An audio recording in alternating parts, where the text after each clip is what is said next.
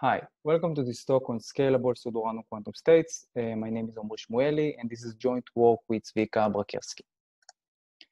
And this work is going to focus on the efficient generation of quantum random states. And there's a basic fact in quantum information theory that efficiently generating a truly random quantum state is impossible. This follows because if we consider the space of all n-qubit quantum states, uh, this space is infinite, but even if we discretize it to any negligible precision, the, then the, the, number of points is going to be uh, too big, it's going to be super exponential, and we don't uh, have hope of efficiently sampling from it. And now, one known solution to this problem is aiming for a more modest goal, uh, namely uh, aiming to sample from a distribution such that for a bounded number of copies of the output state, uh, it is going to be indistinguishable from the same number of copies of a truly random quantum state. And indeed, this more modest approach has results. Uh, one kind of strategy is called the quantum state design.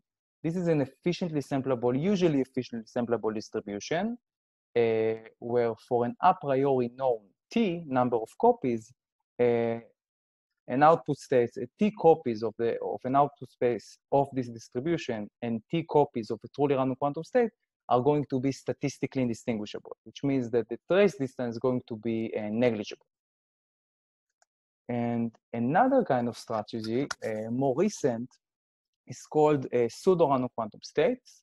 This is again an efficiently samplable distribution such that uh, this time for any polynomial uh, number of copies t, um, the output states t copies of the output space and, and t copies of a truly random quantum state are going to be uh, computationally indistinguishable. This time, uh, the indistinguishability is going to hold only against polynomial time uh, quantum distinguishers.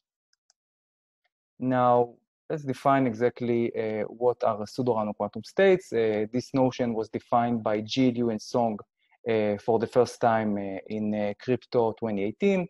So this is a quantum algorithm. Uh, the PRS generator is a quantum algorithm G. Uh, it gets two inputs. Uh, one is a parameter denoting the, the number of uh, uh, qubits in the output uh, state. The other is a classical key. And the security guarantees the following. So for any polynomial, if we think of the output state of the generator for a, a classical random key, then polynomially many copies of this, uh, of this state and polynomially many copies of a truly random quantum state are going to be indistinguishable for polynomial time quantum uh, distinguishers. And PRS generators have a few, uh, a few applications. Uh, some, some of them are a simulation of thermalized quantum states. Another application is quantum money. And these uh, PRS generators are known to exist based on uh, the existence of post-quantum one-way functions.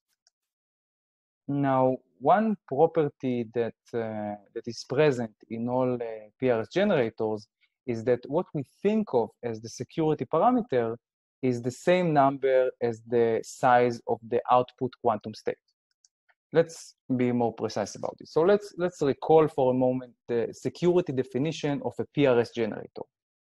So what we're seeing in, in red is what we think of as the security parameter, right? This is the number that denotes uh, how many copies we are going to give uh, uh, the adversary, we're going to let the adversary have, and also the number that denotes how hard is it going to be for the adversary to distinguish for, for this number uh, of copies uh, uh, between the output state of the uh, PRS and, the, uh, and a truly random quantum state. And what we're seeing in blue is, is just the output, the, the size of the output states of the, of the generator.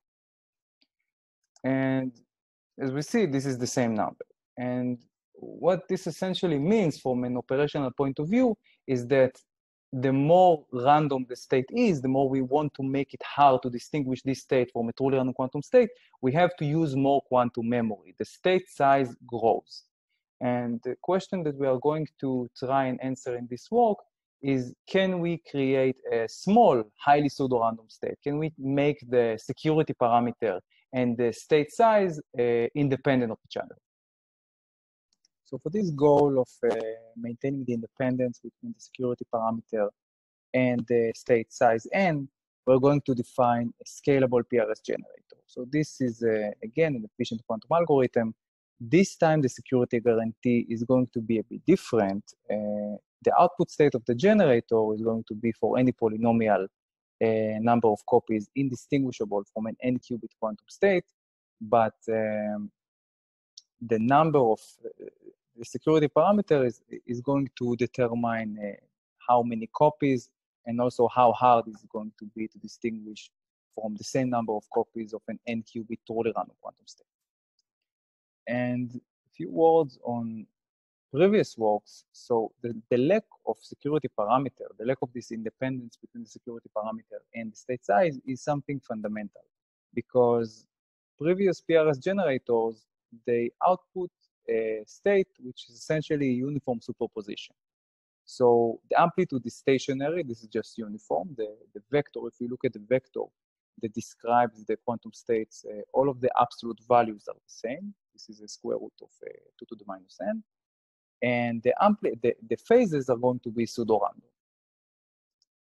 And if we're, uh, we're saying that uh, the, the, the more uh, the, the hardness of distinguishing between the PRS output and the truly random quantum state only grows with the state size, it is natural to ask what happens uh, on the opposite, on very small output sizes. For example, the smallest output size, one qubit. What is the performance for one qubit? And uh, these kind of uh, uh distributions, which are uniform superpositions with uh, pseudo-random or even completely random uh, phase, they actually cover only this red ring in the Bloch sphere. And this is the reason that uh, they are very, very easy to distinguish from a truly random one qubit state, which covers the entire Bloch sphere. So as we understand, in order to get a scalable PRS generator, we cannot just randomize uh, the phases, we need to also randomize the amplitudes of the states that we are outputting. Okay, so uh, on to our results. Okay, so we define the uh, we define also explore this notion of scalability in the efficient generation of uh, quantum random states. And we show a framework, specifically we show a framework for constructing scalable uh, uh, random quantum uh, states. And more formally, we show two theorems. the first is uh, given the existence of post-quantum uh, uh, one-way functions, we show scalable that scalable PRS generators exist. In particular, we use the same computational assumptions needed for non-scalable PRS generators. And uh, also unconditionally, we show that there exist uh, scalable T-design generators in depth uh, that is improved from polynomial in N, the security parameter in T, to polynomial in n, the security parameter, and log of t for any polynomial t. So we improve the, the, the efficiency of uh, existing T-design, uh, scalable T-design generators, and we show the existence of scalable PRS generators for the first time. And in order to show these uh, two theorems, we uh, we use the same paradigms as the previous work, which is uh, first showing an what is called an asymptotically random state generator. So let's first define what is asymptotically random state. This is essentially like a pseudo-random quantum state, but where the distinguishability is statistical. So if we take uh, uh, the output state of an ARS, ARS is short for asymptotically random state. So for any polynomial number of copies, this uh, uh, uh, state is going to be statistically distinguishable from the same number of copies of a truly random n-qubit state. And the paradigm, this ARS paradigm that appears in both previous works is the following. This is how we construct both PRS generators and T-design generators. So the main technical point is constructing an efficient quantum algorithm that when it has oracle, quantum oracle access to a random classical function f, it generates an ARS, which means that if we sample f at random, then the output of the generator is going to be statistically indistinguishable from a truly random quantum state for any polynomial number of copies.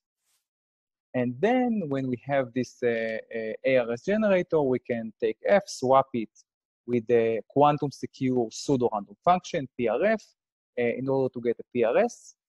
And if we want to get out of this ARS generator a T-design generator, we swap F with the two TYs independent function. So essentially, this is the way we can view ARS generators as the center for the efficient generation of uh, quantum random states. And this is going to be our focus in this work, um, in the technical part. So we follow this ARS paradigm, but we uh, construct a scalable ARS generators, a scalable ARS generator, which means that uh, this efficient quantum algorithm now is going to get additional parameter, which is the security parameter.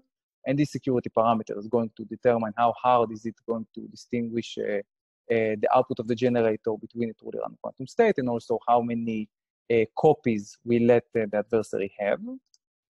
And accordingly, our main technical lemma is going to be uh, showing that there exists a scalable ARS generator uh, where the trace distance between the following two distributions is going to be bounded by t over e to the lambda, where these two distributions uh, are the following. The first is the output of the ARS generator, the scalable ARS generator, t copies of this quantum state, uh, versus t copies of a, a truly random n qubit state.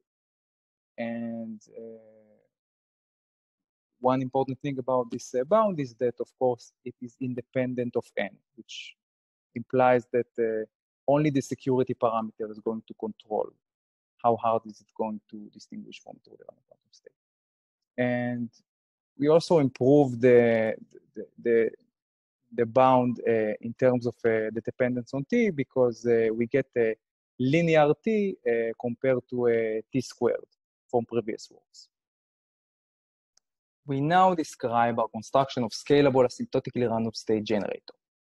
So to be concrete uh, with what we want, we want a polynomial time quantum algorithm that gets uh, n number of qubits, uh, lambda security parameter, it gets a quantum oracle access to a classical random function f from n bits to polynomial in n, n lambda number of bits, and it outputs an n qubit state psi.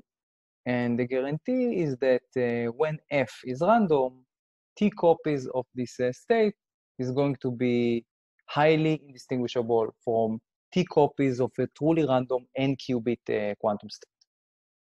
One thing that's going to help us uh, with intuition is the maybe the most basic uh, fact in uh, quantum information is that the space of n qubit quantum states corresponds to the unit sphere of uh, in complex space of uh, 2 to the n dimensions. Now, our approach is going to be very natural and with, uh, with accordance to this, uh, to this fact.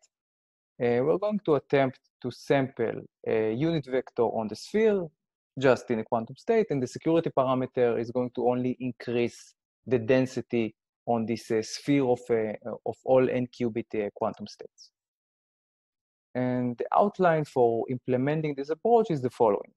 So given the oracle access to this, the quantum oracle access to this classical function f, we want to transform it into oracle access to a different function uh, that describes a spherically symmetric vector v okay, where, where we mean uh, uh, oracle access to the vector. This is a vector in 2 to the n dimensions. It has 2 to the n entries, and, uh, and for input x, it is going to output the entry that corresponds to uh, the string uh, x. And this vector has to be spherically symmetric if f is random. And the second part in our uh, algorithm is going to be to efficiently generate the quantum state that corresponds to the spherically symmetric uh, uh, vector V. So let's start with the, with the first part. We want uh, oracle access to a spherically symmetric vector, and we have oracle access to a random classical function f. And one thing that can solve this uh, first problem is that we, if, if we had a classical circuit uh, G, that uh, uh, translates it uh, locally, which means that the g of f of x is going to be this vector v, such that when f is random, doing this transformation with G on each of the coordinates of uh, F going to yield a spherically symmetric vector. And for this, to, to, to identify what uh, this uh, circuit uh, G needs to be, we, recall a basic property of multivariate Gaussian distribution is that uh, it is spherically symmetric, which means if we take a vector with a, a, a with many coordinates, and each of the coordinates we sample from a Gaussian distribution independently, this vector is going to be uh, spherically symmetric. It's going to, a normalization of this vector is going to be a uniform unit, uh, unit vector. And this, this is, a, of course, a very known uh, property of the multivariate Gaussian distribution. It is very useful for uh, algorithms for uh, sampling uh, random unit vectors because all of these uh, coordinates are going to be, can be sampled uh, uh, in parallel, independently of each other. And then only the norm of the vector needs to be computed, and this also can be done in parallel. And while this property is very useful for the fast uh, parallel generation of uh, uh, classical unit vectors, we use it in the quantum setting to generate it efficiently. So this uh, classical circuit uh, G is going to be sampler circuit, the classical sampler circuit for the Gaussian distribution, which means that uh, we're going to think about the output of F as the randomness, the random tape for a, a, classical sampling algorithm, and this algorithm is going to be sampler for the Gaussian distribution. We denote this algorithm with S. So v, the, the, the, x coordinate of our vector v is going to be s, this, this sampler s, applied to the randomness uh, f of x. And one technical uh, uh, detail to, to recall is that s has to be an efficient, in particular, polynomial size classical circuit, and it cannot really sample from the continuous Gaussian distribution. It has to sample from a discrete Gaussian distribution, but we're going to leave this technical detail for the for the full version for the paper. And this this uh, in this presentation we're going to assume that uh, S uh, sample from the continuous Gaussian uh, distribution. Okay, so it seems we solved our uh, first problem. Uh, we have oracle access, quantum oracle access to a spherically symmetric vector V. And now we want to generate the quantum state that corresponds to the normalization of V. And this, this general task of getting Oracle access to the description of a quantum state and then generating the quantum state is, we don't have efficient algorithms uh, for this general task. But of course, we don't have the general case here. We have a, a restricted case where our vectors are uh, uh, Gaussian vectors and we're going to attempt to find properties of the multivariate Gaussian distribution that are going to be helpful uh, in the efficient generation of the quantum state that corresponds to V.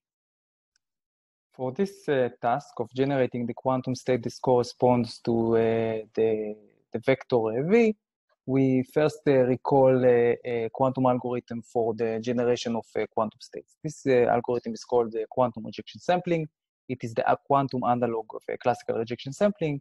And the setting is as follows. So we have one quantum state alpha, and we want to transform it to another quantum state beta. And additionally to having alpha, we have a, a classical, we have oracle access, quantum oracle access to a classical transformation circuit F. Now, this circuit F outputs the ratio uh, beta over alpha, times a, a number 1 over d for some number d, which is an upper bound. Now, this upper bound is an upper bound on m, where m is the maximal uh, ratio between the coordinates, between all of the coordinates of beta and alpha. And if we have this circuit F, and D is uh, where it uh, outputs beta over alpha times 1 over D, we can generate uh, beta with probability 1 over d squared. So the intuition is the important part uh, behind quantum rejection sampling.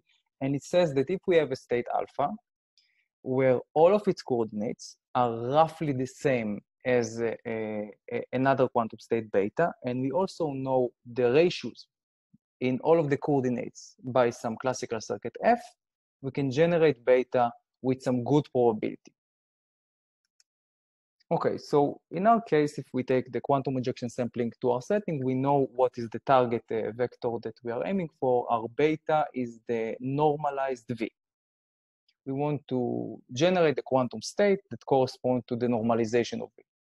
Now, we have beta, but we don't have yet a suitable alpha. Alpha needs to be a quantum state that we know how to efficiently generate from scratch, not using a quantum rejection sampling. And even if we, in, in addition to alpha, we also need to know what is the circuit F that is going to output uh, the ratio between beta and uh, alpha times the bound 1 over d. Recall that we don't even have beta yet. We have only the unnormalized version of beta. We don't have the normalized v because in order to compute the norm of v, we need to know all of the coordinates of V, and this uh, seems to take uh, exponential time. So what properties of the Gaussian distribution are going to be useful to us uh, for the quantum efficient generation of the state uh, uh, normalized V? So the first property, again, this, these are very uh, basic properties. We just observe that they are useful for the efficient generation of the quantum states that corresponds to Gaussian vectors. And the first property is that uh, if we take a random Gaussian vector of 2 to the n uh, coordinates, 2 to the n dimensions, uh, with overwhelming probability, with probability 1 minus uh, e to the uh, minus lambda, all coordinates are bounded by a square root of uh, n plus lambda. This, this, this is true by union bound because the, the probability to, for each of the coordinates to pass this bound, this is relatively small bound, is so, so much time compared to the number of coordinates, which is 2 to the n. Now, uh, this means th this like last uh, sentence is very uh, only on the intuitive level is that all of the amplitudes of this vector v are roughly the same when they are compared to the norm.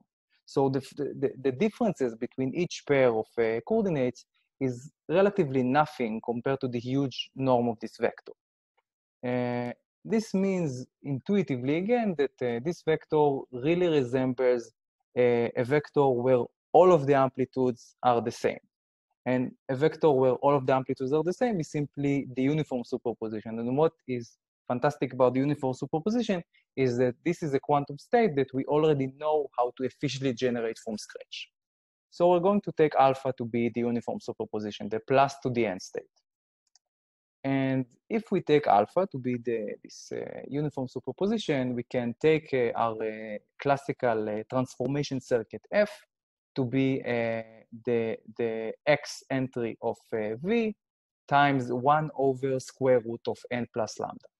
Now, why we chose these exact parameters, so let's observe that if we look at the ratio beta over alpha, we know that beta now is the normalized V, and alpha, we also know what is alpha. This is uh, simply the uniform superposition.